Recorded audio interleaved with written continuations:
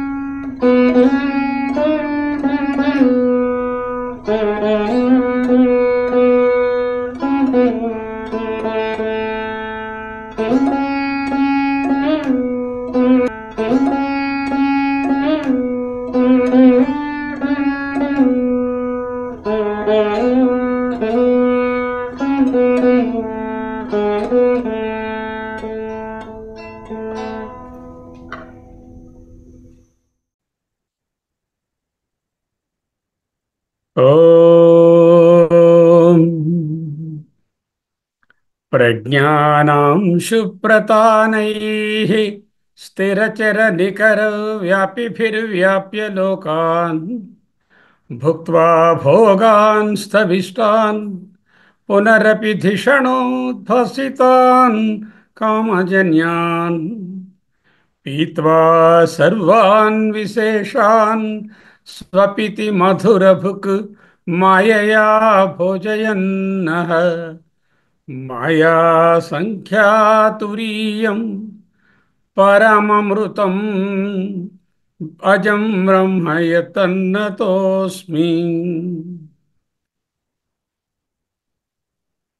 यो विश्वात्मा विधिज विषयान् प्रास्य भोगान् स्तविष्टान् पश्चाच्चान्यान् स्वमतिविभवान् ज्योतिषा स्वेन सूक्ष्मान् सर्वान् एतान् पुनरपि शनैः स्वात्मनि स्थापयित्वा हित्वा सर्वान् विशेषान् विगतगुणगणः पात्वसौ न स्तुरीयः ॐ परमात्मने नमः।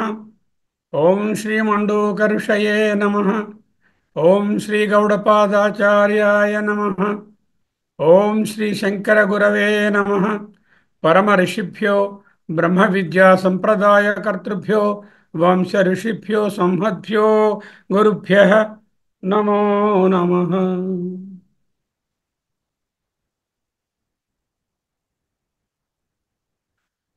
మాండక్యోపనిషత్తు గౌడపాదీయ కారికా సమేతంగా అధ్యయనం చేస్తున్నాం. అధ్యయన భారతి వారి అధ్యయనం. శ్రీమద్ శంకర భగవత్పాదకృత భాష్య సమేత మాండుక్య ప్రకరణం అయమాత్మా బ్రహ్మ.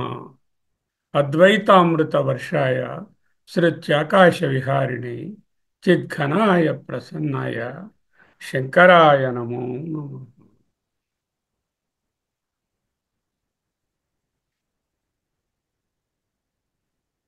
ఆగమ ప్రకరణం మొదటి ప్రకరణం జీవ బ్రహ్మైక్య నిరూపణము ఇక్కడ జరుగుతోంది. ఆగమ ప్రకరణంలో మూడవ మంత్రం చూస్తున్నాము. దీని భాష్యంలో ఉన్నాము. పదహారవ భాగంగా చదువుకుంటున్నాం జాగరితి స్థాన బహిష్ప్రజ్ఞ సప్తంగ ఏకోనవింశతిముఖ స్థూలభుక్ వైశ్వానర ప్రథమ పాద ఇది మంత్రం. దీన్ని విశ్లేషించాం. జాగ్రత్త అవస్థ విశ్వ స్వప్నావస్థ తైజస సుషుప్తి అవస్థ ప్రాజ్ఞ తురియం. కాంప్లిమెంటరీగా ఇవన్నీ ఇప్పుడు చూపి చూచిన నాలుగు కూడా విశ్వ తైజస ప్రాజ్ఞ అనేవి వ్యష్టిగా సమష్టిగా స్థూల ప్రపంచము విరాట్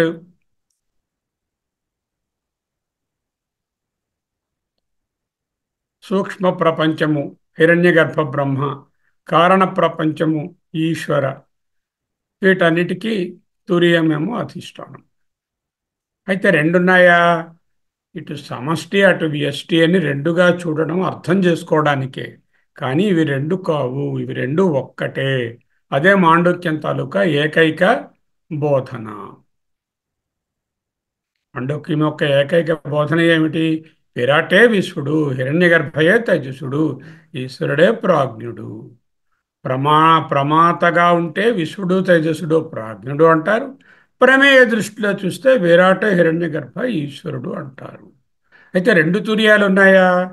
విశ్వడు తేజస్సుడు ప్రాజ్ఞుడికి పైన ఒక తుర్యము విరాట్కు హిరణ్యగర్భకు ఈశ్వరుడికి పైన ఇంకొక తుర్యము రెండు ఉన్నాయా? అలా ఉండడానికి వీలు లేదు తుర్యము లేక బ్రహ్మ ఎస్టిగాను సమష్టిగాను ఒక్కటే. ఆత్మ ఇజ్ ఈక్వల్ టు బ్రహ్మ. ఆత్మలు పులోరలు ఉండదు. ఆత్మ ఒక్కటే. అయం ఆత్మ బ్రహ్మ. ఓకే. అయితే ఇప్పుడు ఎలా చూడాలి? ఆ స్లైడ్ని అలా విడిగా చూడకుండా ఇలా చూడాలి. జాగ్రత్త అవస్థ విశ్వడు స్థూల ప్రపంచము విరాట్. ప్రపంచంగా చూస్తే విరాట్ వ్యష్టిగా చూస్తే విశ్వ. స్వప్నావస్థ తైజస్సుడు సూక్ష్మ ప్రపంచము హిరణ్యగర్భ బ్రహ్మ ప్రపంచంగా చూస్తే హిరణ్యగర్భ బ్రహ్మ సూక్ష్మ ప్రపంచము. స్వప్నావస్థ లేక స్వప్న ప్రపంచంగా చూస్తే తేజస్సుడు. స్వప్నావస్థగా చూస్తే తేజస్సుడు. సుషుప్తి అవస్థ ప్రాజ్ఞుడు కారణ ప్రపంచము ఈశ్వరుడు. ఈ విరాట్ని హిరణ్య గర్భలోను హిరణ్య గర్భని ఈశ్వరునిలోను విశ్వని తేజస్సునిలోను తేజస్వి ప్రాజ్ఞునిలోను విలీనం చేస్తే తురియం వ్యష్టిగాను సమష్టిగాను ఒక్కటే ఉంటుంది. అదే ఆత్మ. అయం ఆత్మ బ్రహ్మ. ఇది అండర్స్టాండింగ్ ముందు చెప్పుకున్నదే. ఇప్పుడు ఒక్కసారి చిన్న రీక్యాప్ ఎక్కువ లేదు. నిత్య సత్యమైన నేనే ప్రమాతగాను ప్రమేయంగాను మిథ్యావేషాలు వేస్తున్నాను. ప్రమాతగా అంటే విసుడు తేజసుడు ప్రాజ్ఞుడుగా ప్రమేయంగా అంటే ఈ సమష్టి ప్రపంచంగా స్థూల ప్రపంచంగా సూక్ష్మ ప్రపంచంగా కారణ ప్రపంచంగా మిథ్యా వేషాలు వేస్తున్నాను. ఇవి వేషాలే కానీ నా స్వస్వరూపము కాదు. సాక్షినైన నేను జాగ్రత్త అవస్థలో స్థూలనామల రూపాలతో ప్రమాత ప్రమేయ వేషాలు వేస్తున్నాను. అలాగే స్వప్నావస్థలో సుషుప్తి అవస్థలో కూడా స్థూలనా సూక్ష్మ కారణ రూపాలలో ప్రమాత వేషాన్ని ప్రమేయ వేషాన్ని వేస్తున్నాను. ఈ వేషాలను వదిలి చూస్తే నేను తురియ ఆత్మను.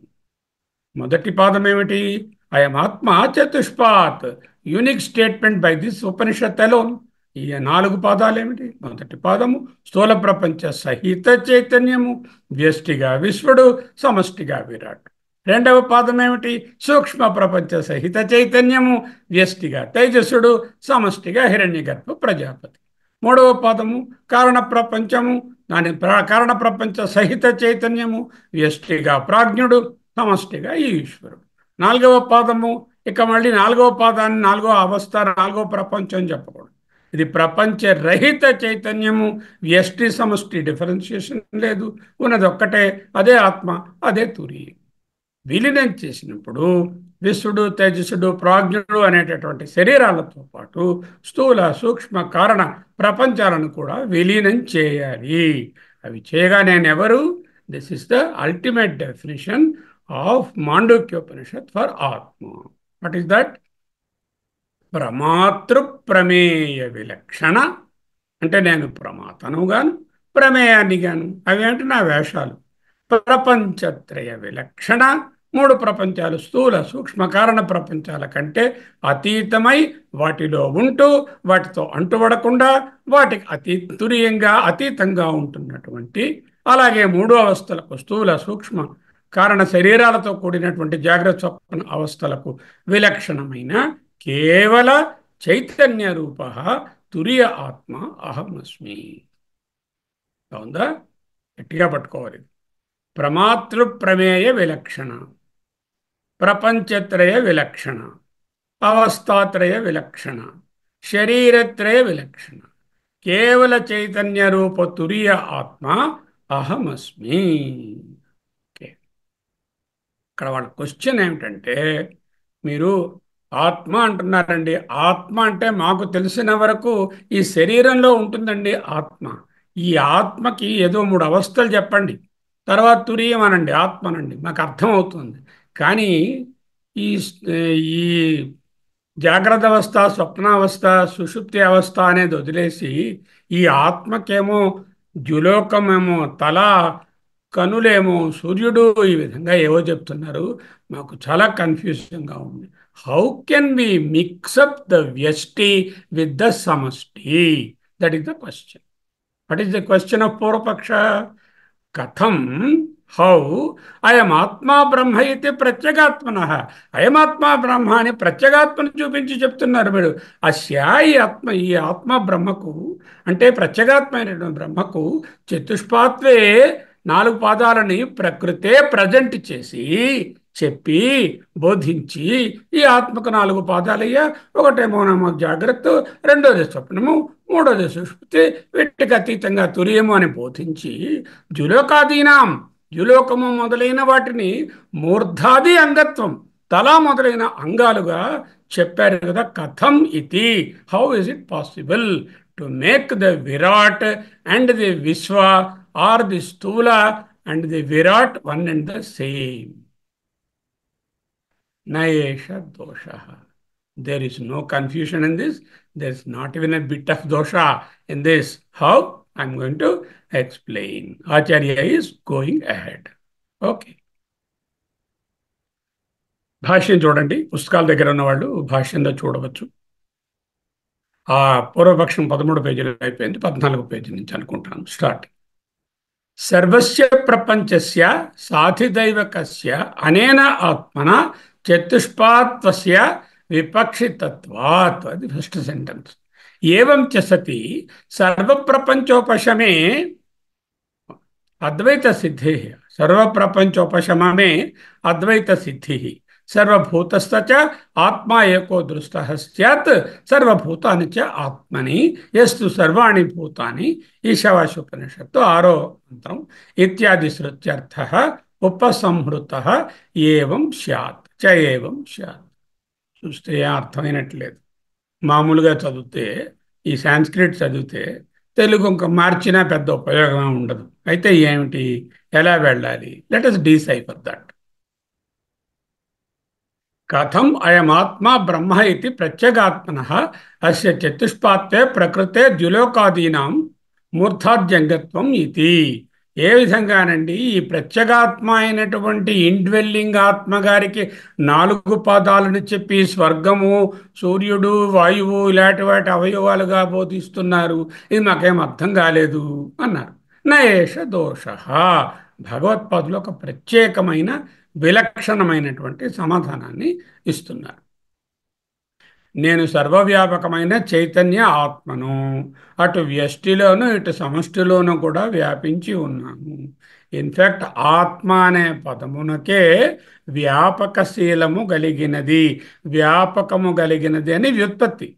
మూడు వ్యుత్పత్తులు చెప్పారు ఐతరియంలో. అందులో మొదటి వ్యుత్పత్తి ఏమిటి? వ్యాపకత్వం కలిగినది. ఎక్కడ వ్యాపకత్వం కలిగినది? వ్యష్టిలోను సమష్టిలోను కూడా వ్యాపకం కలిగినటువంటిది. కనుక విశ్వ తేజస ప్రాజ్ఞ వేషాలు ఎవరివి? నావే. విరాట్ హిరణ్య గర్భ అంతర్యామి ఆవేశాలు ఎవరివి? అవి నావే. అంటే నాకు మూడు స్టెప్స్లో ఆరు వేషాలు ఉన్నాయి. నేను మూడు ఇంటూ రెండు ఆరు వేషాలు లేనటువంటి తురియ చైతన్య ఆత్మను. ఈ ఆరు ఏమిటంటే విశ్వ తేజస ప్రాజ్ఞ వ్యష్టిగాను విరాట్ హిరణ్య గర్భ అంతర్యామి సమష్టిగాను. ఈ ఇవన్నీ వేషాలండి రోల్స్ అండి. ఈ రోల్స్ లేనటువంటి చైతన్య ఆత్మ తురియాన్ని నేను. అయితే నువ్వు ఈ ఈ- ఈ వేషాలకు నీకు ఏమిటి సంబంధం? ఈ వేషాలకు నేనే సబ్స్ట్రేటము నేనే అధిష్టానము. ఏ విధముగానైతే సినిమా ప్రొజెక్టర్లోంచి వచ్చినటువంటి సినిమాకు అన్ని రకాలైనటువంటి వేషాలకు అక్కడ ఉన్నటువంటి ఇమోషన్స్కు భావోద్వేగాలకు ఒకే అధిష్టానమైన తెర ఎలా ఉన్నదో విశ్వ తేజస్స ప్రాజ్ఞ విరాట్ హిరణ్య హిరణ్య గర్భ అంతర్యామి అనేటటువంటి వ్యష్టి మూడు సమష్టి మూడు ఆరు వేషాలు వేసేటటువంటి ఈ వేషాలన్నిటికీ అధిష్టాన చైతన్యము నేను. కనుక ప్రథమ పాదము సప్తాంగములు గల వేషం కలిగినటువంటి విరాటు లేక వైశ్వానరుడు. ఆ వ్యష్టిని నేనే ఆ విశ్వుణ్ణి ఆ వైశ్వానరుణ్ణి లేక విరాట్ని నేనే. సగుణ బ్రహ్మాన్ని సంభావన చేసి ఇవి వేషాలని చెప్పి ఈ వేషాలు మిథ్య అని చెప్పి ఆ మిథ్యా వేషాలను తొలగించి నిర్గుణ ఆత్మని పొందాలి. ఇది మన తాలూకా గమ్యం. భగవద్గీతలో తొమ్మిదో అధ్యాయం నాలుగో శ్లోకం ఏమిటంటుంది?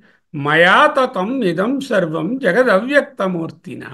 మత్స్థాని సర్వభూతాని నాహం తే శ్వవస్థిత మయా నా చేత ఆతతమిదం సర్వం ఇదం సర్వం. ఇదిగో ఈ సృష్టిలో ఉన్న వ్యష్టి ఈ సమష్టి రెండు కూడా. అంటే వ్యష్టి ప్రపంచము సమష్టి ప్రపంచము వ్యష్టి అనే మూడు అనుభవాలు సమష్టి అనే మూడు ప్రపంచాలు కూడా ఆతతం ఇదం సర్వం. ఆతతం అంటే వ్యాపించబడి ఉన్నది ఎవరి చేత? మయా. నా చేత అంటే ఆత్మ చేత బ్రహ్మం చేత. జగత్ అవ్యక్తమూర్తిన జగత్ సర్వం ఇదం ఆతతం అవ్యక్తమూర్తి then I'm why am I not seeing you not be able to see me my dear because I'm the avyakta chaitanya Avyakta Chaitanya inside.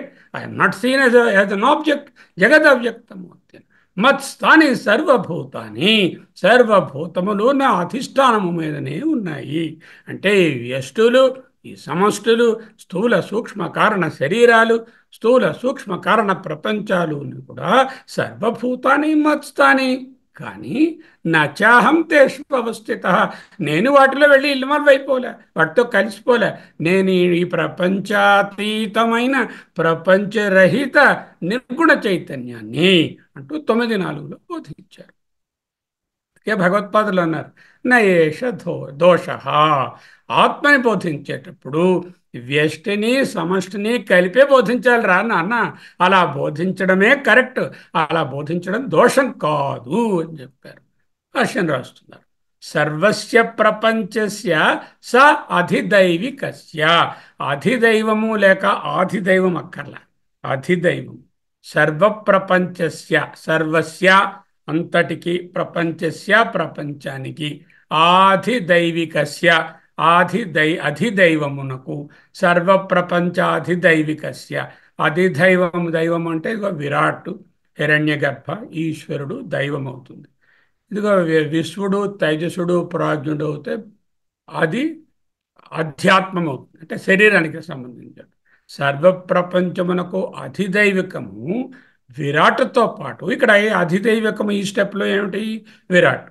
సర్వప్రపంచస్య స అధిదైవికస్య. సర్వప్రపంచమునకు అధిదైవమైనటువంటి విరాట్తో కూడా విరాట్తో పాటుగా అనేన ఆత్మన అనేన ఆత్మకు ఈ విశ్వనితో పాటుగా విరాట్ విశ్వడు కలిసి ఆధిదైవికమైన విరాట్ను కలిపియే మొదటి పాదము. అధిదైవికము అధ్యాత్మము. అధిదైవికం అంటే విరాట్ అధ్యాత్మము అంటే విశ్వడు. చతుష్పాత్వస్య విపక్షితత్వాత్. చతుష్పాత్వస్య నాలుగు పాదముల వివరణ నాలుగు పాదాలని కూడా నాలుగు పాదములను కలిపి వివక్షితత్వాత్. వివక్ష చేయవలసిన కారణము వలన. ఎందుకు దోషణం లేదు? వివక్షితత్వాత్ వివక్ష చేయబడుచున్నటువంటి కారణం వలన. ఏమిటి వివక్ష చేస్తున్నాము? నాలుగు పాదాలను వివక్ష చేస్తున్నాం. ఈ నాలుగు పాదాలు వివక్ష చేయడంలో అది దైవాన్ని ఆధ్యాత్మాన్ని కలిపే బోధిస్తారన నాన్న? సర్వస్య ప్రపంచస్య స అధిదైవికస్య అనేన ఆత్మన చతుత్పా చతుష్పాత్వస్య విపక్షితత్వాత్ వివరణ చేయుచున్న కారణము వలన పంచమీ విభక్తిలో ఉంది. నాలుగు పాదాలు వివరణ చేసి చెప్పాలి. ఎందుకు? అలా చెప్పినట్లయితేనే ఏవం చేసతి ఇన్ దట్ కండిషన్ ఉంది అలా అయిన పక్షంలోనే ఏవం చసతి అంటే అలా అయిన పక్షంలోనే సర్వప్రపంచ మొత్తం ప్రపంచమంతా ఉపశమే విలీనం కాగా అద్వైత సిద్ధి రెండవది ఏదీ లేదని అద్వైత సిద్ధి జరుగుతుంది. అద్వైతం సిద్ధిస్తుంది నిరూపితం అవుతుంది ఇంతకుముందు చూసాం రమణమూర్తి గారిని మొదలుపెట్టి డిజాల్వ్ చేసుకుంటూ పోతే రమణమూర్తి గారి ఆత్మ వచ్చింది.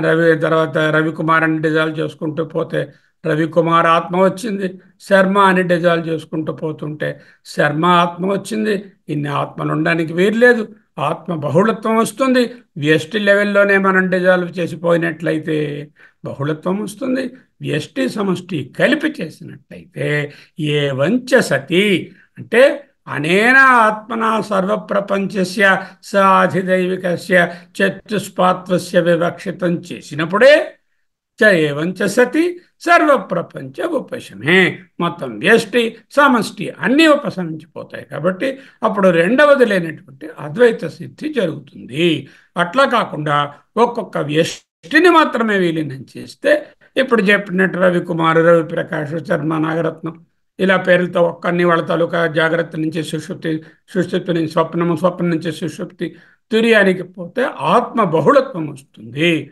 ఆత్మ బహుళత్వము అద్వైతానికి సరిపడదు. అత్యంత గొడ్డలి పెట్టు అంటూ నేర్చుకుంది. ఓకే.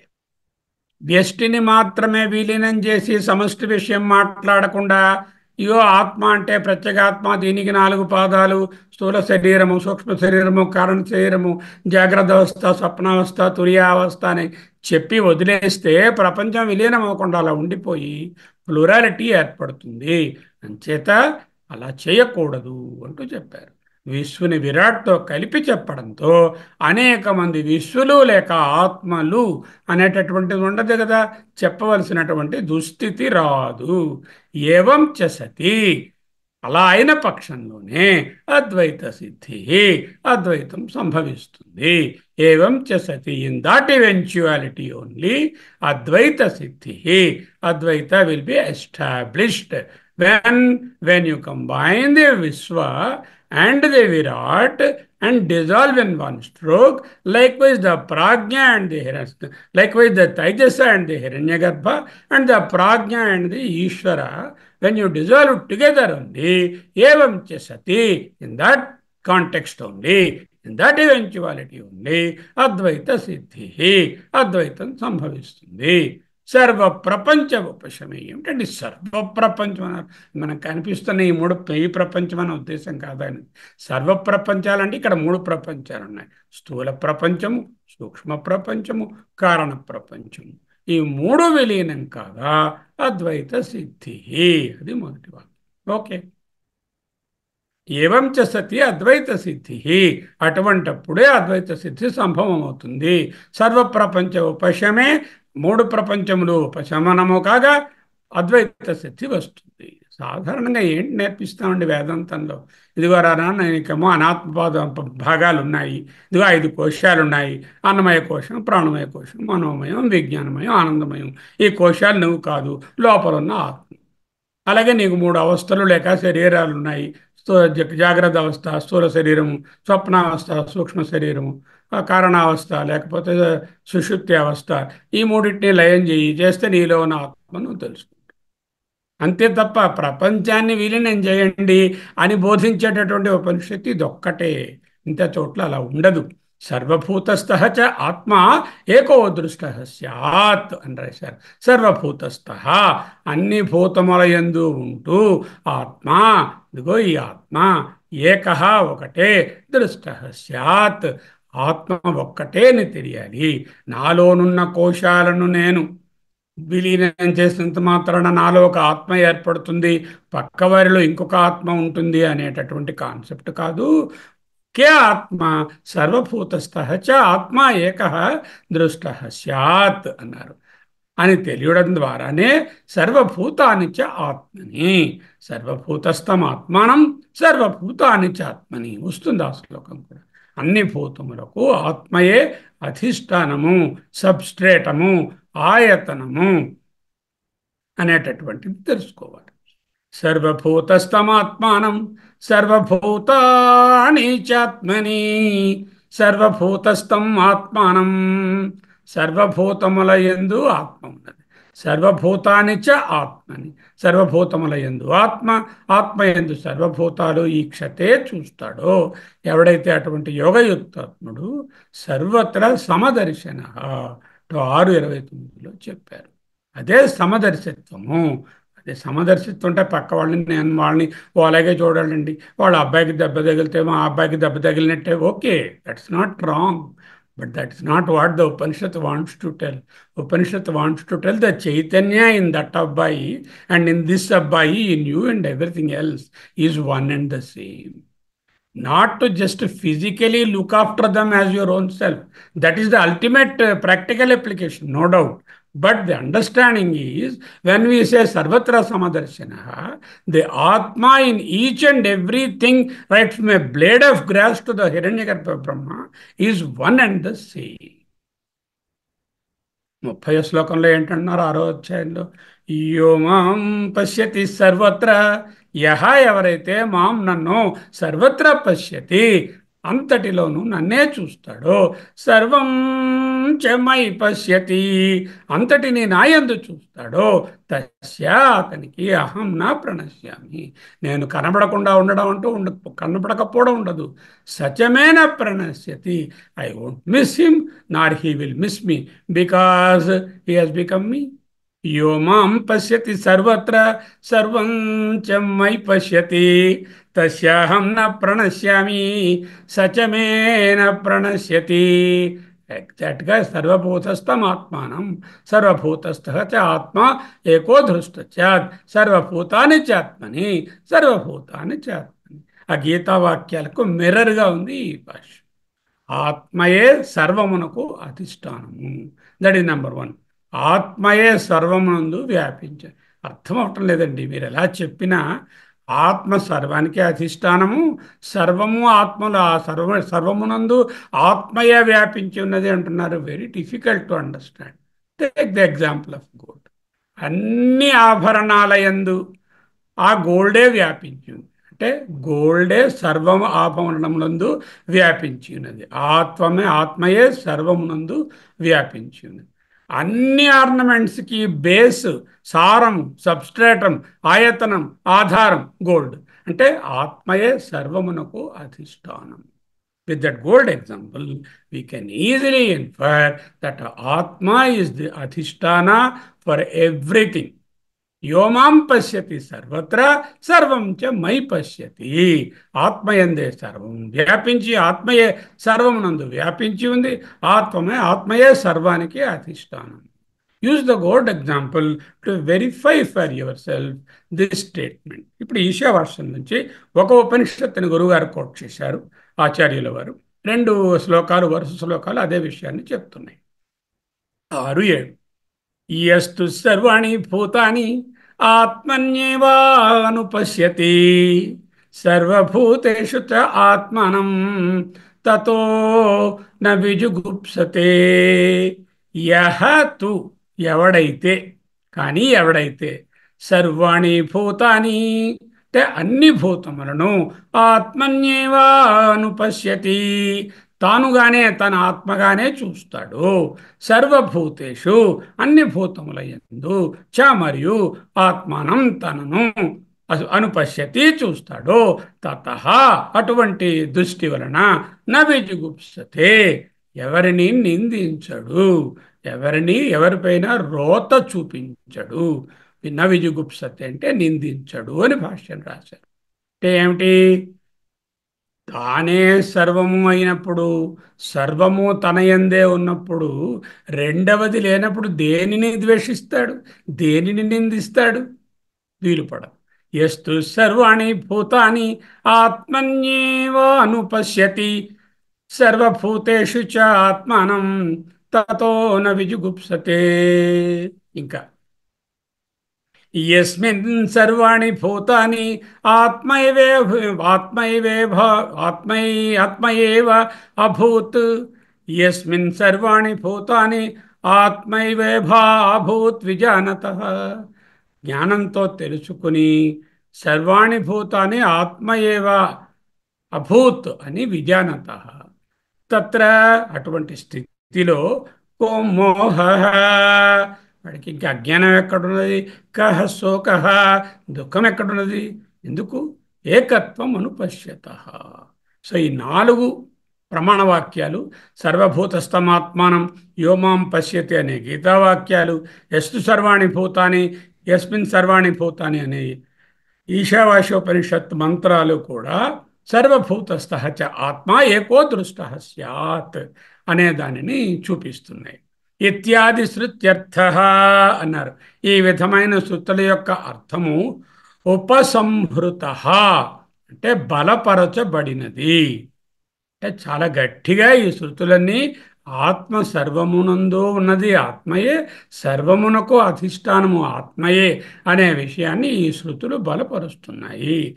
చ ఏవం స్యాత్ ఇది ఇట్లుండగా. ఏమైంది ఇప్పుడు? ఈ విధంగా మనం ఊహించి ప్రపంచంలో ఉన్నటువంటి వ్యష్టి సమష్టులు స్థూల సూక్ష్మ కారణ అనే వ్యత్యాసాలు లేకుండా సర్వము ఆత్మయందే ఉన్నాయి. ఆత్మయే సర్వమునకు అధిష్టానము అని నాలుగు రకాల శృతి ప్రమాణాల ద్వారా తెలుసుకున్న పెద- పెదప అన్యథా హి స్వదేహ పరిచ్ఛిన్న ఏవ ప్రత్యేగాత్మా సాంఖ్యాదివ దృష్ట సత్ తథా చ సతి అద్వైతం ఇది శృతి కృతో విశేష న స్యాత్ సాంఖ్యాది దర్శనేన అవిశేషాత్ అన్నారు నెక్స్ట్ లైన్ యథాహి అన్యథాహి అలా కాకపోతే అంటే అన్ మూడు అవస్థలను మూడు ప్రపంచాలను ఆత్మగా చెప్పకుండా ఒక్కొక్క దేహానికి ఒక్కొక్క ఆత్మ అని పరిచ్ఛిన్నంగా చెప్తే స్వదేహ పరిచ్ఛిన్న ఏవ ప్రత్యేగాత్మ. ఒక్కొక్క దేహమునకు ప్రత్యేగాత్మ పరిచ్ఛిన్నమై ప్రతి ఉండిపోయింది అని కాన్సెప్షలైజ్ చేసి చెప్తే ఒక్కొక్కరు ఒక ఆత్మ confine to each body Sharma ఆత్మ రవిప్రకాష్ గారు ఆత్మ రవికుమార్ గారు ఆత్మ సో రమణమూర్తి ఆత్మ ఇలా వేరు వేరు ఆత్మలు వస్తాయి అలా ఎవరు చెప్తారు? సాంఖ్యాదిభి ఇవ దృష్ట సత్ సాంఖ్య ఆదిభి. సాంఖ్యులు మొదలైన వారు ఆత్మలు. అంటే ప్లూరల్. ఒక్కొక్క చైతన్యం కలిగిన జీవిలో ఒక్కొక్క ఆత్మ ఉన్నది అంటారు. సాంఖ్య వైశేషిక నైయాకు నైయాయికులచే ఆత్మ ప్లూరల్గా చూడబడినట్లు. సాంఖ్యాతివీవ సాంఖ్యాదుల వలె దృష్ట శాత ఇవ ఎందుకు? అది నిజం కాదు. అది కరెక్ట్ కాదని చెప్పడానికి సాంఖ్యాధిపి ఇవ. సాంఖ్యుల వలె అనేక ఆత్మలు అన్నట్టుగా చూడబడితే తథాచ సతి in that eventuality in such an అట్లా అయినటువంటి పక్షంలో శృతికృత. శృతి అంటే ఉపనిషత్తు. శృతి చే చే చెప్పబడిన శృతికృత ఉపనిషత్ సారాంశమైన అద్వైతం అద్వైత బోధన విశేష విశేషము నశ్యాత్. శృతి కష్టపడి మొత్తుకుని ఒకటేరా ఆత్మ ఏకమేవ అద్వయం బ్రహ్మ అయమాత్మ బ్రహ్మ ఆత్మ ఒక్కటే అని బోధిస్తోంది. ఏ శృతి తీసినా ఒకటే. మరి సాంఖ్యులు చెప్పినట్లుగా మనం ఎష్టిని మట్టుకే విలీనం చేసి పులువురల ఆత్మల్ని ప్రొడ్యూస్ చేసేసి ఆత్మ బహుళత్వాన్ని సిద్ధీకరించేసుకుంటే మరి సాంఖ్యులకి మనకి ఎంతడా ఉంటుంది? తథాచ సతి దట్ ఈవెన్చువాలిటీ అలాంటి పక్షంలో శృతికృత అద్వైతం విశేష సత్ స్యాత్. శృతి చేత చెప్పబడినటువంటి అద్వైత బోధన విశేషము లేనిదే అయిపోతుంది. సాంఖ్యులు ఆత్మలు అన్నారు మీరు ఆత్మలని డెరైవ్ చేసేస్తున్నారు వ్యష్టిని మట్టుకే వీళ్ళని చేసి అలా కుదరదరా నాయన. సాంఖ్యాది దర్శనైన అవిశేషాత్. సాంఖ్య సాంఖ్యము యోగము మొదలైన దర్శనముల కంటే దర్ అవిశేషాత్. వాటికంటే ఈ వేదాంత బోధన వేరుగా ఉండదు. విశేష నశ్యాత్ ఎందుకు వాటికంటే విశేషము? లేకపోవడం వలన దీనికి ప్రత్యేకమైన స్థానము అద్వైతము అనగా అద్వయ ఆత్మ అద్వయ బ్రహ్మం అనే బోధనకు ప్రత్యేకమైన ప్రత్యేకత ఏముంటుంది? ప్రత్యేకమైనటువంటి స్థానం ఉండదు. వ్యష్టి స్థాయిలో మట్టుకే విలీనం చేస్తే ఎన్ని వ్యష్టులు ఉన్నాయో అన్ని ఆత్మలు వస్తాయి అంటే బహుళత్వం వస్తుంది. ఇతర దర్శనాలు ఆత్మలోనే చెప్తున్నాయి. అప్పుడు ఈ ఉపనిషత్ దర్శనానికి వేదాంత దర్శనానికి ఇతర దర్శనాలైన సాంఖ్య దర్శనము మొదలైన వాటికి ఏ భేదము ఉండదు. విశేషమేమీ ఉండదు. దెన్ ద యునిక్ టీచింగ్ అది Upanishad what is the unique teaching atma is one that stands refuted that becomes null and void that will be no more tenable because we're also saying atma they are also saying Atma. So, Srutikrato Visheshaha na syat. Srutikrato, the uniqueness of the Upanishadic teaching, Visheshaha na. There is no speciality in this Srutikrata or the, the Upanishadic teaching. The teaching is in great peril. All right. If Atmalu is accepted, if the plurality of the Atma is accepted, then what is the difference between Sankhyas and you? You the vedantin must not say ఆత్మలు. You must try and derive only one atma. That is possible. Only when you dissolve the vyashti and the samashti also together. At the level of the sthula at the level of the sukshma at the level of the karanam. అంచేత ఈ ఆత్మకు ద్యులోకము మొదలైనటువంటి అవయవములుగా విరాట్గా వర్ణించి చెప్పడము నయేష దోష. దాంట్లో ఏ దోషము లేదు. ఇంకా ఈష్యతే చ సర్వోపనిషదాం సర్వాత్మైక్య ప్రతిపాదికత్వం. సర్వ ఉపనిషదాం అన్ని ఉపనిషత్తుల ఎందు సర్వ ఆత్మైక ప్రతిపాదకత్వం. సర్వ ఆత్మలు ఒక్కటే అనే అనేటటువంటి స్ట్రాంగ్ బేస్ని ఈష్యతే చెప్పబడింది. అతో యుక్తం ఏవ అస్య ఆధ్యాత్మికస్య పిండాత్మన జిలకాద్యంగత్వేన విరాడాత్మన అధిదైవికేన ఏకత్వం అభిప్రేత్య సప్తాం సప్తాంగత్వ వచనం దీనికి ఒక రెఫరెన్స్ ఇస్తున్నాను చూసుకో. మూర్ధాతే వ్యపతి వ్యపతిష్యత్ అనే చాందోగ్య మంత్రాన్ని ఇత్యాది లింగ దర్శనాత్ అన్నారు. చూద్దాం. ఈష్యతే చ సర్వోపనిషదాం. ఉపనిషత్తుల యొక్క ముక్త కంఠమైనటువంటి బోధ ఏమిటి? ఆత్మ సర్వ ఉపనిషదాం ఈష్యతే చెప్తున్నాయి. ఏమిటి చెప్తున్నాయి? ముక్త కంఠంతో ఆత్మ ఏకత్వాన్ని. సర్వోపనిషదాం ఈష్యతే బోధించబడుతుంది. ఏమిటి? సర్వ ఆత్మైక్య ప్రతిపాదకత్వం ఈష్యతే. అన్ని ఉపనిషత్తుల సారము ఆత్మ ఏకత్వము కీలకమైన బోధనే చేస్తున్నాయి. వేదాంతముల యొక్క ముఖ్య తాత్పర్యము సర్వాత్మ ఏకత్వం అని అనే దానిని నువ్వు విస్మరించకూడదు. అత అందువలన ఎందువలన? పై హేతువుల వలన. ఏమిటేమిటా హేతువులు? ఎప్పుడైతే నువ్వు వ్యష్టినే విలీనం చేసి సమష్టిని అలా ఉంచేస్తావో వ్యష్టి విలీనం వలన ఒక్కొక్క వ్యష్టికి ఒక్కొక్క ఇండివిజువల్ ఎంటిటీకి ఒక్కొక్క ఆత్మ ఏర్పడి ఆత్మ బహుళత్వం వస్తుంది. ఆత్మ బహుళత్వం వేదాంతం అంగీకరించదు. అప్పుడు నీకు మిగతా దర్శనాలకి ఏ విధమైనటువంటి వ్యత్యాసము ఉండదు. వేదాంతం యొక్క స్పెషాలిటీ ఏమీ ఉండదు. అప్పుడు ఈ వేదాంతం చదవాల్సిన అవసరం వేరే ఉండదు. అంతేకాక ఇందాకడ చూపించినటువంటి కొటేషన్స్ ప్రకారం సర్వాత్మైకత్వ ప్రతిపాదికత్వం సర్వోపనిషదానం. అన్ని ఉపనిషత్తులలోనూ శృతి స్మృతి ప్రమాణాలు భగవద్గీత ఇత్యాది ప్రమాణాల ద్వారా సర్వ ఆత్మ ఏకత్వమే ప్రతిపాదించబడినది. ఇదే కీలకము. దీనిని విస్మరించొద్దు. అత ఈ కారణాల వలన ఇప్పుడు చెప్పినటువంటి కారణాల వలన యుక్తం ఏవా సమంజసమే. ఏమిటి సమంజసము? అస్యా ఈ ఆధ్యాత్మికస్య పిండాత్మన. ఆధ్యాత్మికస్య అదో ఆధ్యాత్మ.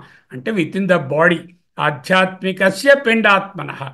ఫర్ దిస్ మైక్రోకాసం అస్య ఈ వీనికి ఎవనికి ఆధ్యాత్మికస్య పిండాత్మన. ఫర్ ద మైక్రోకాసం పిండాత్మ అయినటువంటి వ్యష్టి లేక ఆధ్యాత్మికమునకు విరాడాత్మన విరాట్ స్వరూపమునకు అంటే పిండాత్మకు విరాడాత్మకు. మైక్రోకాసంకి మ్యాక్రోకాసంకి. పిండాత్మ వ్యష్టి. బ్రహ్మాండం సమష్టి విరాడాత్మ అశ్యా ఈ ఆధ్యాత్మిక శ్యా పిండాత్మన.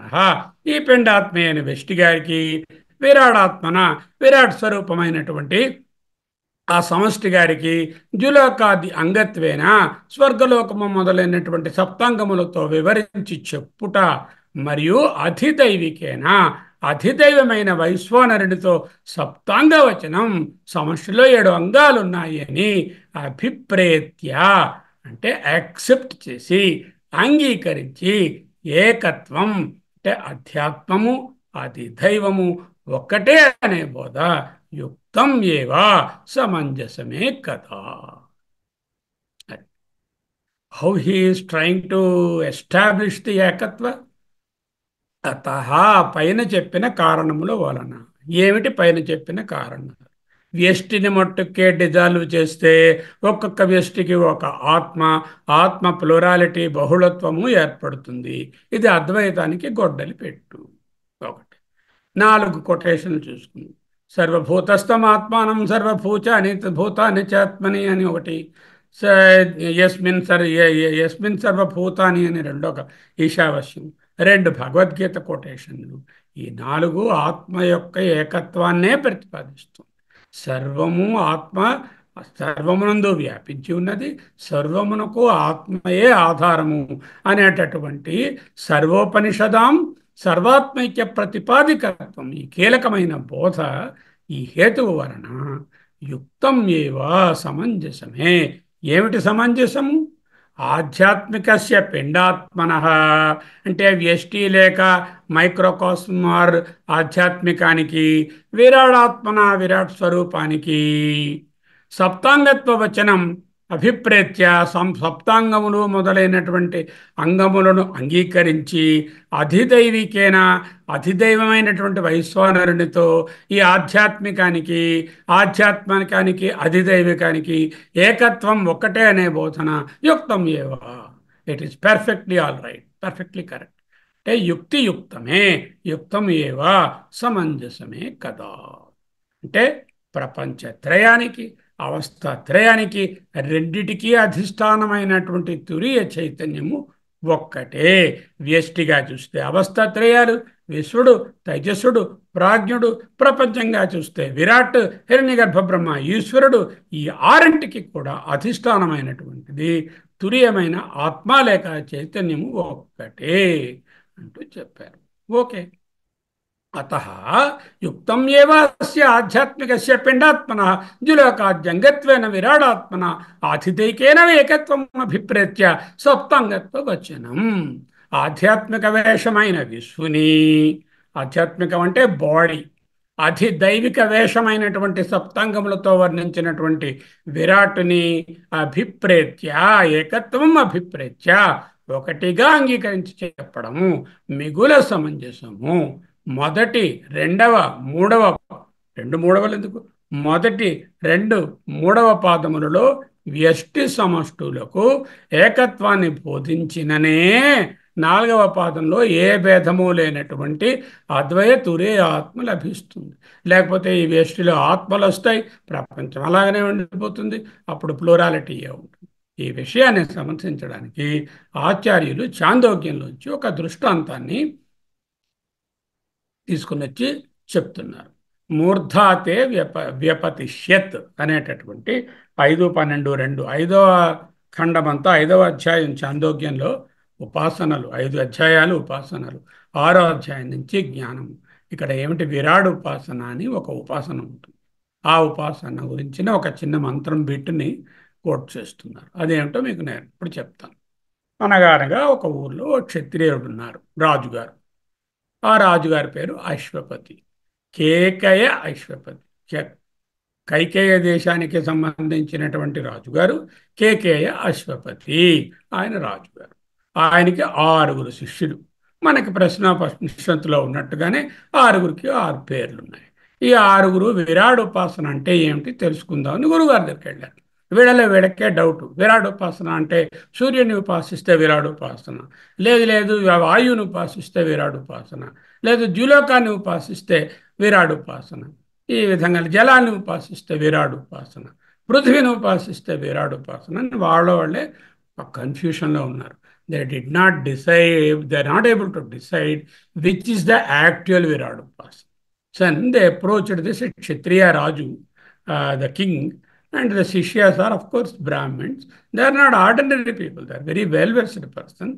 వీళ్ళ ఆరుగురు కూడా మన పలాదుల గురువు గారి దగ్గరికి వెళ్ళినట్టుగా ఈ అశ్వపతి అనే రాజుగారి దగ్గరకు గురువు గారి దగ్గరికి వెళ్ళి అయ్యా మాలో మాకు ఈ విధమైనటువంటి సమస్య ఉన్నది విరాడోపాసన అంటే ఒక్కొక్కరు ఒక్కొక్కలా అర్థం చేసుకున్నాం అసలు విరాడోపాసన అంటే ఏమిటో మీరు మాకు చెప్పండి అని అడిగారు అతనేంటన్నారు అలా కాదు ఒకరిని పిలిచి నువ్వు చెప్పబోయే విరాడోపాసన అంటే ఏమిటో అని ఒక్కొక్కరిని వాళ్ళ అభిప్రాయాలు అడిగి ఈయన అన్నాడు జులోకమేనండి తల విరాట్ అని చెప్తారు కదా తల అని చెప్పలే జులో జులోకమే విరాట్ జులోకాన్ని ఉపాసిస్తే అంతా ఉపా మొత్తం విరాట్ను ఉపాసించినట్టే.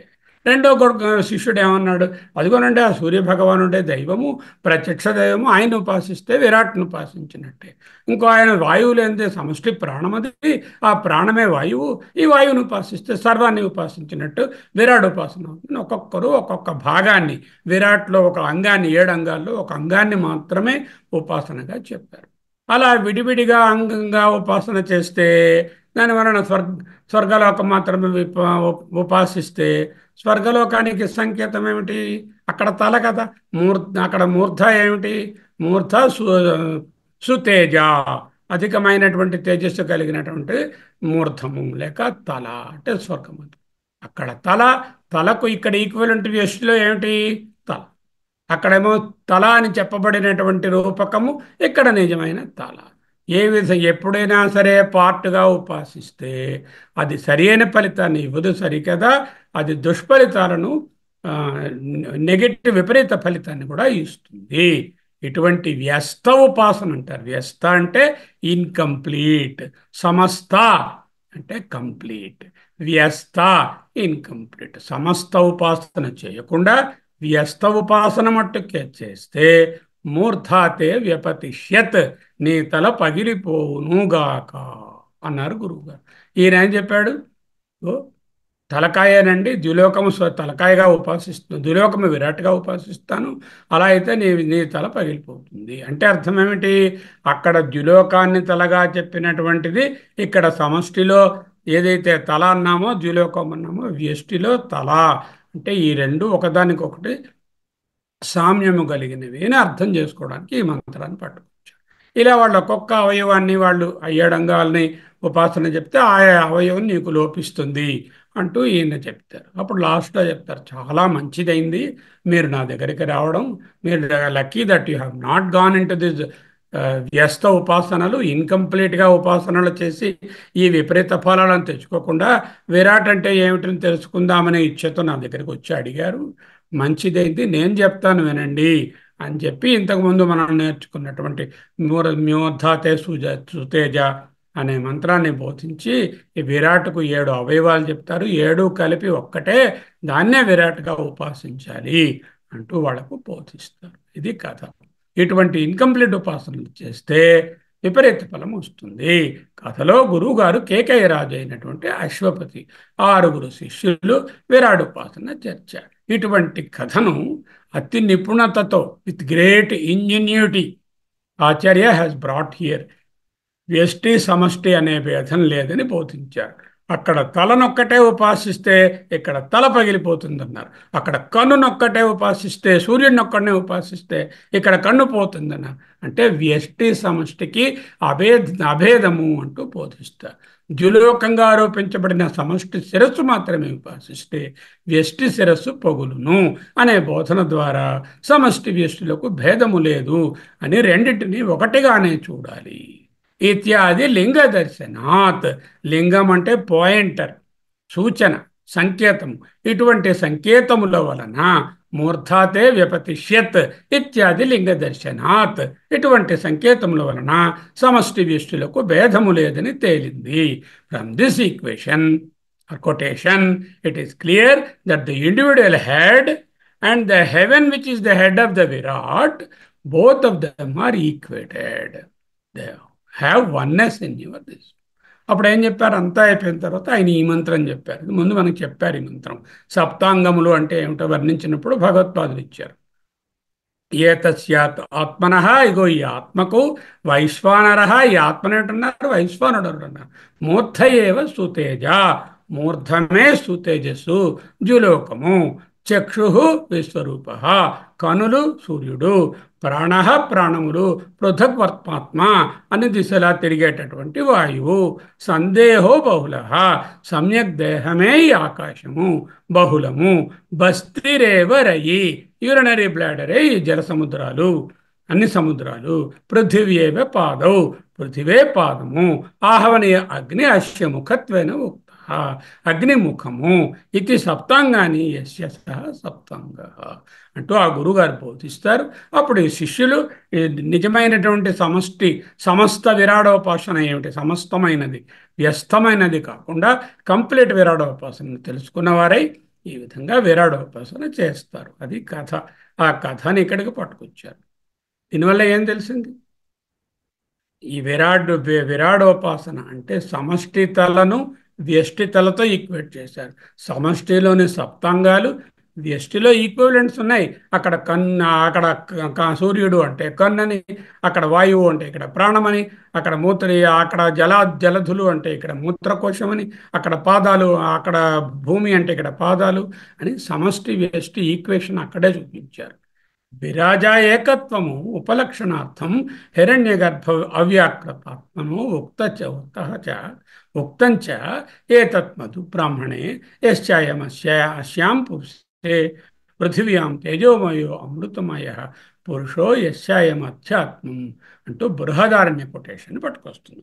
మొదటి కొటేషన్లో ఏం చెప్పారు? చాందోగ్య కొటేషన్ ద్వారా స్థూలమైనటువంటి తలను ఇక్కడ సూక్ష్మమైన స్థూలమైనటువంటి విరాట్ తలభ తలగా చెప్పబడినటువంటి దానిని సమష్టిలో వ్యష్టిలో తలగా చెప్పబడిన దాన్ని ఒకటే అని చెప్పి స్థూలం లెవెల్లో రెండు ఒక్కటే అని చూపించారు. ఇప్పుడు సూక్ష్మ శరీరంలో చూపించాలి కదా దానికి బృహదారణ్యకం తెస్తున్నాడు.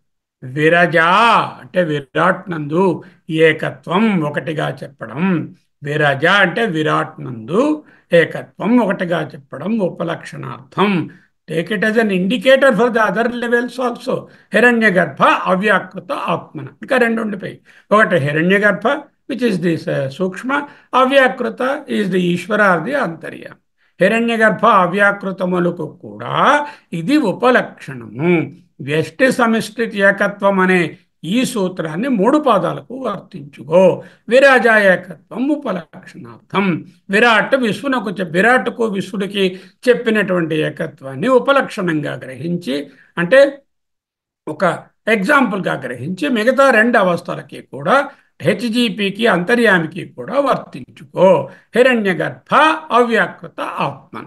అవ్యాకృత ఆత్మ అంటే అంతర్యామి. హిరణ్య గర్భ అంటే సూక్ష్మ శరీరం. ఇది కూడా క్రమంగా తేజస్వ ప్రాజ్ఞలతో ఏకత్వాన్ని వర్తించుకోండి. అంటే హిరణ్య గర్భకి తేజస్సునితోని అవ్యాకృతము లేక అంతర్యామికి ప్రాజ్ఞనితోని ఏకత్వాన్ని వర్తించుకోండి. విరజా ఏకత్వం ఉపలక్షణార్థం హిరణ్య గర్భ అవ్యాకృత ఆత్మను. ఈ విధముగా ఏకత్వం చూడడానికి ఒక ప్రమాణాన్ని కూడా చూపిస్తున్నాను మీకు అంటూ ఓ ప్రమాణాన్ని చెప్తున్నాను. ఏమిటా ప్రమాణం? బృహదారణ్యకంలో మధు బ్రాహ్మణం నుంచి చెప్తున్నారు విరాట్ విశ్వుల హిరణ్యగర్భ తేజస్సుల అంతర్యామి ప్రాజ్ఞుల ఏకత్వాన్ని దర్శించాలి. అలా దర్శించినప్పుడే మనకి అద్వైత సిద్ధి కలుగుతుంది. ఇతర దర్శనాల కంటే స్పెషల్గా ఉంటుంది. అంచేత ఏకత్వాన్ని మూడు లెవెల్స్లను దర్శించాలి. ఎలా దర్శిస్తాను? ఉక్తం చ ఏతత్. హిరణ్యగర్భ ప్రాజ్ఞుల ఏకత్వము ఉక్తం చ ఏతత్. అంటే హిరణ్యగర్భ ప్రాజ్ఞుల యొక్క ఏకత్వము ఉక్తం చ చెప్పబడినది. మధు బ్రాహ్మణంలో చెప్పబడినది. ఉక్తం చ ఏతత్ మధు బ్రాహ్మణే మధు బ్రాహ్మణే మధు బ్రాహ్మణమునందు. బృహదారణ్యక ఉపనిషత్తులోని మధు బ్రాహ్మ బ్రాహ్మణము టూ ఫైవ్ వన్లో ఉక్తం చ ఏతత్ ఈ ఈ సామ్యము ఉక్తం చ చెప్పబడినది. ఏమిటా మంత్రము? యశ్చాయం. అశ్యాం పృథివీయాం శ్యాం ఈ పృథివీయాం ఈ పృథివీయందు యశ్చాయం ఏదైతే ఉన్నదో ఈ తేజోమయ అమృతమయ పురుష. తేజోమయుడు అమృతమయుడు అయిన పురుషుడు. పురుషుడు అంటే పరమ పురుషుడు సచిదానంత ఆత్మని కాదు. పురుష అంటే దైవీ భావం అంటే పృథ్వీ అందలి దైవీ తత్వము. సో పృథ్వీ అంటే మనకు అనిపిస్తోంది కదా స్థూల పృథ్వీ. ఈ స్థూల పృథ్వీలో ఉన్న దైవాంశము. భూమాత అంటున్నారు కదా మీరు పురాణ పురాణాలలో. ఆ సూక్ష్మతత్వము ఆ పృథ్వీ అందలి దేవత యశ్చాయం అధ్యాత్మం. ఇందాకలదేమిటి? ఎస్ అస్యాం పృథ్వీయాం తేజోమయ అమృతయ అమృతమయ పురుష. ఈ పృథ్వీ ఎందు తేజోమయుడు అమృతమయుడు అయినటువంటి ఆ సూక్ష్మతత్వము పృథ్వీ దేవత ఏదైతే ఉందో యశ్చాయం అధ్యాత్మం. ఏదైతే ఈ శరీరమునందు సూక్ష్మ పృథ్వీతత్వంగా ఉన్నదో ఈ రెండు ఒక్కటే అంటూ మధుబ్రాహ్మణం చెప్పింది. సుషుప్త అవ్యాకృతో హేతు ఏకత్వం సిద్ధం ఏవ.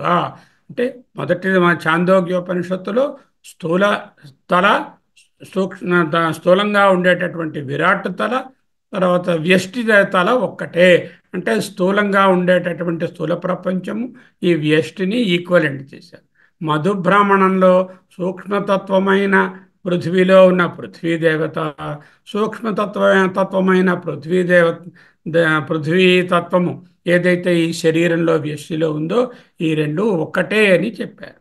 కాబట్టి రెండు లెవెల్ అయిపోయాయి ఇంకొక్కటి ఉండిపోయింది. సుషుప్త అవ్యాకృతయో సుషుప్తి అవ్యాకృతం అంటే సుషుప్తి అంతర్యామి మిగిలిపోయి తు ఏకత్వం సిద్ధం ఏవి నిర్మించాడు అక్కడ నేను కొటేషన్ ఇవ్వక్కర్లే. అది ఏకత్వం ఆల్రెడీ సిద్ధమయ్యే ఉన్నది. ఏవంచ సతి ఏతత్ సిద్ధం భవిష్యతి సర్వ అద్వైత ఉపశమే. సర్వద్వైతోపశమే చ అద్వైతం ఇది. అన్ని ద్వైతాలు ఉపశమించగా అద్వైతం సిద్ధిస్తుంది. చూద్దాం. వ్యష్టిలో ఏం చెప్పారు? సూక్ష్మ పృథ్వీ తత్వాన్ని సమష్టిలోని సు- సూక్ష్మ పృథ్వీ దేవత రెండు ఒక్కటే అంటూ మధుబ్రాహ్మణం మధుబ్రాహ్మణంలో ఆయన ఇవ్వని కొటేషన్ పార్ట్ ఏమిటి? సహా అయమేవా అని ఉంది చివరి ముక్క. ఆ ముక్క ఇవ్వలేదు. సహా ఈ రెండు అయమేవా ఒక్కటే అనేది అదే ఇది ఇదే అది అని మధుబ్రాహ్మణం ఈ ఏకత్వాన్ని అన్ని పాదాల్లోనూ తీసుకోవాలి. మొదటి పాదంలో అంటే స్థూల ప్రపంచము స్థూల శరీరము లేక జాగ్రత్త అవస్థలో ఉన్నటువంటి విశ్వనకు విరాట్కు అలాగే సూక్ష్మ ప్రపంచము సూక్ష్మ స్థాయిలోని హిరణ్య గర్భుడు వ్యష్టిలోని తైజసుడు ఒకటే అని మధు విద్య బోధించింది. రెండు పాదాలలో ఏకత్వం బోధించారు. మొదటి దానికి చాందోగ్యాన్ని రెండో దానికి బృహదారణ్యకాన్ని కొటేషన్స్ రిఫరెన్సెస్ ప్రమాణాలను చూపించి బోధించారు. ఇక మూడవ పాదం ఏం మిగిలింది? కారణ ప్రపంచం. కారణ ప్రపంచం అంటే కారణ శరీరము వ్యష్టిగా సుషుప్తి అవస్థ ఇక్కడ. కారణ ప్రపంచం అంటే సమష్టి కారణ శరీరము లేక సుషుప్తి అవస్థ అనేది వ్యష్టి ఈ రెండు ఒక్కటే. కారణ ప్రపంచము సుషుప్తి అవస్థ లేక కారణ శరీరము వ్యష్టిగాను ఒక్కటే అని చూపించారు. సుషుప్త అవ్యాకృతయో తు తూ నిశ్చయంగా సుషుప్త సుషుప్త సుషుప్తవు అవ్యాకృత సుషుప్త అవ్యాకృత సుషుప్తి ఎందు అవ్యాకృతమునందు సుషుప్తి అవ్యాకృతములకు అవ్యాకృతం అంటే అంతర్యామి. ఇక్కడ ఈశ్వర అంతర్యామికి బదులుగా అవ్యాకృతం అని రాశారు. అవ్యాకృతమునకు సుషుప్తికి ఏకత్వం సిద్ధం ఏవా ఏకత్వం సిద్ధించియే ఉన్నది. Already established. అంచేత నేను రిఫరెన్స్ ఇవ్వక్కర్లేదు. స్థూల లెవెల్లో నేను చాందోగ్యం రిఫరెన్స్ ఇచ్చాను. మా సూక్ష్మం లెవెల్లో మధుబ్రాహ్మణం రిఫరెన్స్ ఇచ్చాను. ఇక్కడ రిఫరెన్స్ ఇవ్వక్కర్లేదు. ఎందుచేత? నిర్విశేషత్వాత్. సుషుప్తిలోను అవ్యాకృతమునందు ఆ అవస్థలో కానీ ఈ కారణ ప్రపంచంలో కానీ విశేషాలు లేవు. అవ్యాకృతము కనుక. నిర్విశేషత్వాత్. దీనికి ప్రమాణం ఇవ్వక్కర్లేదు శిష్య. ప్రజ్ఞ అంతర్యామి కారణస్థితి కనుక. ప్రాజ్ఞుడు అంతర్యామి అనేటటువంటివి కారణస్థితులు కాబట్టి. కారణం అంటే ఏమిటి? అన్ని భేదాలు బీజ రూపంలో విలీనంగా ఉన్నదాన్ని కారణం అంటారు. కారణం అంటే బంగారం. అన్ని నగలు విలీనమై బీజ రూపంగా అందులో ఉన్నటువంటి దాన్ని కారణం అంటున్నాం కదా. అన్ని అన్ని కార్యాలు విలీనమైపోయి బీజ రూపంలో అవ్యాకృతంగా ఉంటే కారణం అంటారు. కారణంలో మరి విశేషాలు లేవు. కాబట్టి డిఫరెన్స్ అక్కర్లేదు. రెండు ఆల్రెడీ ఈక్వల్. అటేమో ఆ అవస్థ కా నిర్విశేషం ఆ ప్రపంచము నిర్విశేషం. కాబట్టి రెండిటికి వేరువేరుగా చెప్పక్కర్లేదు. కారణమనగా కార్యములన్నీ విలీనమైనటువంటి స్థితి. అక్కడ విశేషాలు లేవు. నిర్విశేషత్వా లాస్ట్ స్లైడ్. సుషుప్తావ్యాకృతయో సుషుప్తౌ అవ్యాకృతయో సుషుప్తి అవ్యాకృతములయందు ఏకత్వం సిద్ధం ఏవా ఏకత్వం ఆల్రెడీ సిద్ధించే ఉన్నది. ఎందుకు? ఈ అవస్థలలో ఈ కారణ ప్రపంచంలో విశేషములు లేవు కనుక. రెండు నిర్విశేషము. కావున ఏకత్వం సిద్ధమై ఉన్నది. మరే ప్రమాణాలు అక్కరలేదు. అవ్యకృతం అనేది అంతర్యామికి లేక కారణ శరీరి అని ఈశ్వరుడికి మరో పేరు. అంతర్యామి అన్నా ఈశ్వరుడన్నా కారణ శరీరం అన్నా అవ్యకృతం అన్నా ఒక్కటే. ఏవం చేసతి ఇది ఇట్లుండగా. ఏది ఎట్లుండగా? మూడు పాదములలోనూ ఏకత్వము నిరూపితమై ఉండగా. మొదటి పాదము స్థూల ప్రపంచము స్థూల వ్యష్టి దట్ ఈస్ ది విశ్వడు రెండవ పాదము. సూక్ష్మ ప్రపంచము సూక్ష్మ వ్యష్టి లేక వడవడు? తైజస్సుడు కారణ ప్రపంచము కారణ వ్యష్టి లేక ప్రాజ్ఞుడు మూడు పాదాలలో ఏకత్వం నిరూపితమై ఉండగా సర్వద్వైత ఉపశమే. మూడు పాదములలో అన్ని ద్వైతములు భేదములు ఉపశమించగా తొలగిపోగా ఏతత్ అద్వైతం సిద్ధం భవిష్యతి ఇది.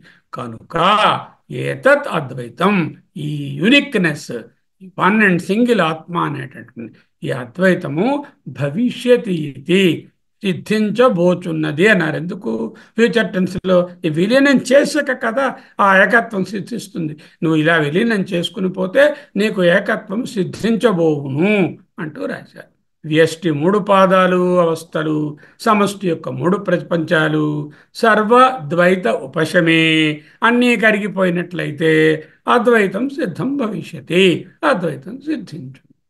మూడు అవస్థలకు మూడు ప్రపంచాలకు అధిష్టానమైనటువంటి తురీయమైన తురీయమైన అద్వైతమే మిగిలింది. మరి ప్రతి రాత్రి నాకు సుషుప్తిలో నిర్విశేషత్వం వస్తుందిగా. నేను నిద్రపోతున్నాను సుషుప్తిలో నాకు ఏ విశేషాలు లేవు. నిర్విశేషమైన సుశుద్ధిలో నాకు అద్వైతం సిద్ధించేస్తుంది కదా. మళ్ళీ వేరే ప్రపంచాలను అన్నింటినీ నేనెందుకు విలీనం చేయడం? నా సుషుప్తిలో అది మోక్షమే కదా. మోక్షం అంటే అదే కదా. నిర్విశేషంగా ఉండడం. ఏ విశేషాలు తెలియకుండా నిర్విశేషంగా కేవల చైతన్యంగా ఉండడం. నేను అలాగే ఉంటున్నాను సుషుప్తిలో మరి అదే మోక్షం అనుకోవచ్చు కదా అంటే కాదురా నాన్న. అది టెంపరీగా విత్డ్రా అయ్యావు. మళ్ళీ పొద్దున జాగ్రత్తలోకి వచ్చేసరికల్లా మళ్ళీ నీ నీ టుడు లిస్టు నువ్వు వచ్చేసావు కాబట్టి అది వచ్చిపోయేది కాబట్టి అది మోక్ష స్థితి కాదు. ముక్త పురుషుడు ఈజ్ నాట్ ఈక్వల్ టు సుప్త పురుషుడు. సుప్త పురుషుడు ముక్త పురుషుని లాగే ఉంటాడు కానీ సుప్త పురుషుడు మళ్ళీ జాగ్రత్తలోకి వస్తాడు. ముక్త పురుషుడు మళ్ళీ జాగ్రత్త అనుభవాలతో తాదాత్మ్యం చెందడు. ఉపశమేచ అద్వైతం అని చకారం ఉన్నది. ఆ చ రాశారు. చ ఏతత్ అద్వైతం సిద్ధం భవతి అంటే ఇక్కడ చకారాన్ని పెట్టారు. ఉపశమే చ అద్వైతం అని ఉంది ఆ చకారానికి ఆనందగిరి గారు టీకలో రాస్తున్నారు. ఈ చకారానికి అర్థం ఏమిటంటే అద్వైతము ప్రత్యాహారము కాదు. ప్రత్యాహారం అంటే విత్డ్రావల్. అంటే ఓ సమాధిలోకి వెళ్ళి నిర్వికల్ప సమాధిలో ఉంటూ అద్వైతంలో అన్నిటి నుంచి ప్రత్యాహారము చేసి అంటే ఇంద్రియాల నుంచి ప్రతిదాన్ని వదిలేసి లోపలికి వెళ్ళిపోయి ఉండి మళ్ళీ ఆ సమాధిలోంచి బయటకు రాగానే మళ్ళీ వాళ్ళతో తాదాత్మ్యం చెందడం మోక్షం కాదు. అందుకే పతంజలి గారు ఈ ప్రత్యాహారం అనేటటువంటి యోగ ప్రక్రియ ద్వారా ముక్త పురుషుడు కాలేకపోయారు. అయితే అద్వైతం అనేది ప్రత్యాహారం మాత్రమే కాదు.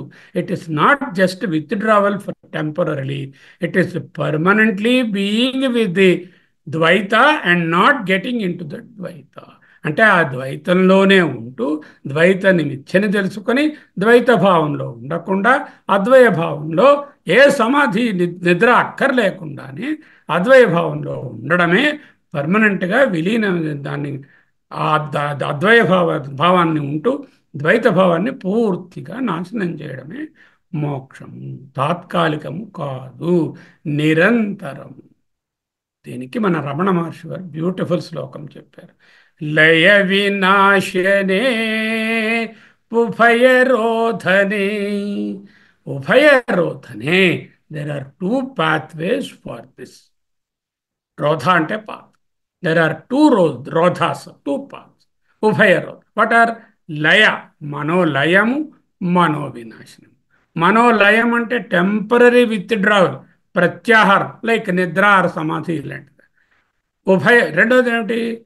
అమనీభావం పూర్తిగా మనస్సు అనేది దాన్ని పని చేయటం లే. అంటే ఆ ద్వైతాన్ని చూడడం మానేసింది అనమాట లయగతం పునః భవతి నోమృతం లయమైనది అంటే రాత్రి సుషుప్తిలో నిద్రలోనున్నది సమస్యలోనున్నది పునః తిరిగి భవతి మళ్ళీ పుటకరిస్తుంది. మళ్ళీ జాగ్రత్తలో జాగ్రత్త అనుభవాలతో తాదాత్మ్యం చెందుతుంది.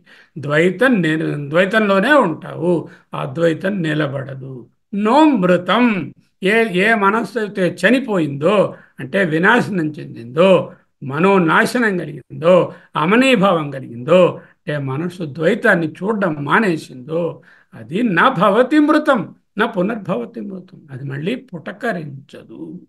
అద్వైతం అంటే ప్రత్యాహారము కాదు. అద్వైత ఈ sublation of the world even when you are in the world. World ఉన్నప్పటికీ కూడా you just sublate you just negate the world. Let the world be there but you don't pay any attention to the world differences and negate the world. ధ్యానేన ఉపశమ ఉపశమ or జ్ఞానేన ఉపశమ. Now you answer ధ్యానము వలన సర్వద్వైత ఉపశమం కలుగుతుందా? సర్వద్వైతోపశమే ఏతద్ అద్వైతం సిద్ధం భవిష్యతి అన్నారు.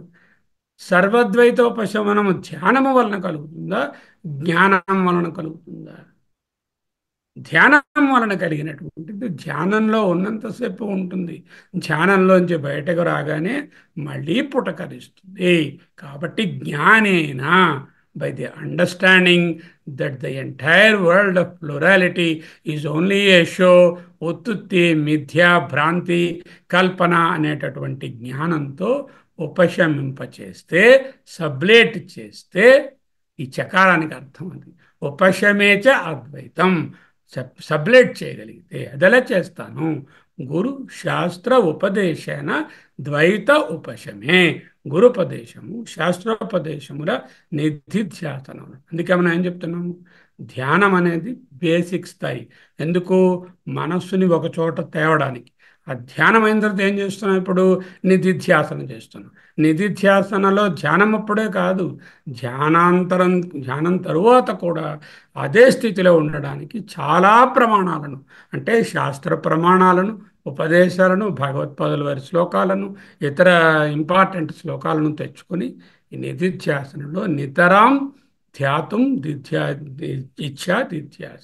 నితరాం ఎల్లప్పుడూ ధ్యాతం అంటే ద్వైతాన్ని వదులుకుంటున్నట్టుగా ధ్యానం చేయడం.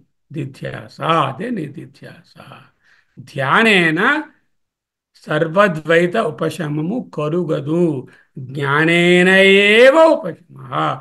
జ్ఞానేనేవ హి కైవల్యం. జ్ఞానేన జ్ఞానమే మోక్షము. జ్ఞానం అంటే ఏమిటి? Be in the world and not get entangled with the world యో ఆప్సు నామం ప్రతిష్ఠితాం వేద ప్రత్యేవ తిష్టతి యో యహ అంటే ఎవడైతే ఆప్సు నీటి ఎందు నావం బోట్ వలె ప్రతిష్ఠితాం ఉంటాడో ప్రత్యేవ తిష్టతి he will be in an exalted position అంటే ఏంటనమాట the world is like a river and in that water you have to cross with the jnana boat and what will happen when you when the boat is there the boat will be in contact with the water but this gentleman will not allow the water to come into the boat ఆ నీరు boat లోపల దూరిపోయి ముంచకుండా ఆ నీటిలో ప్రయాణం చేస్తూ నీటితో కాంటాక్ట్లో ఉన్న నీటిని లోనికి చోరనివ్వకుండా ప్రయాణం చేస్తాడో. అటువంటి జ్ఞానమే ఉపశమాన్ని కలిగిస్తుంది. అది ఎలా కలుగుతుంది. శాస్త్ర గురుపదేశేన. అందుకే ధ్యానం అరవై ఎపిసోడ్స్ అయిన తర్వాత ఇప్పుడు నిధిధ్యాసన మరొక అరవై ఎపిసోడ్స్ చేశాము.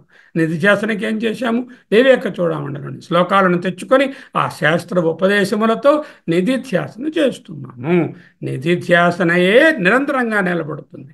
సింపుల్ ధ్యానము అరగంట ముప్పావు గంట పావు గంట నిలబడుతుంది. కానీ పూర్తిగా నిలబడదు.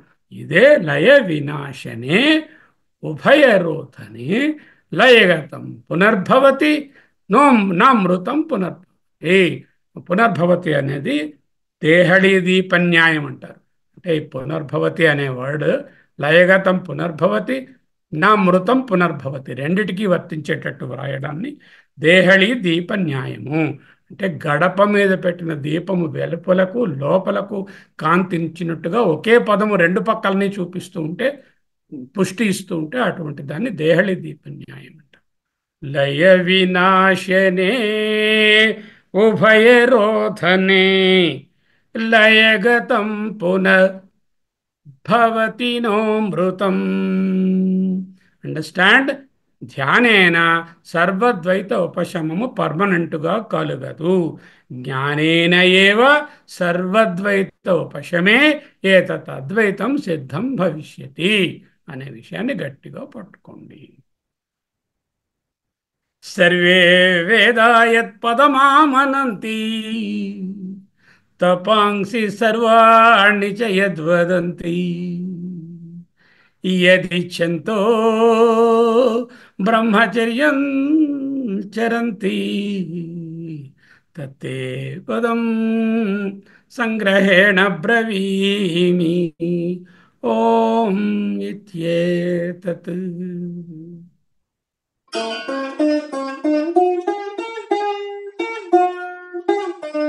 Thank you.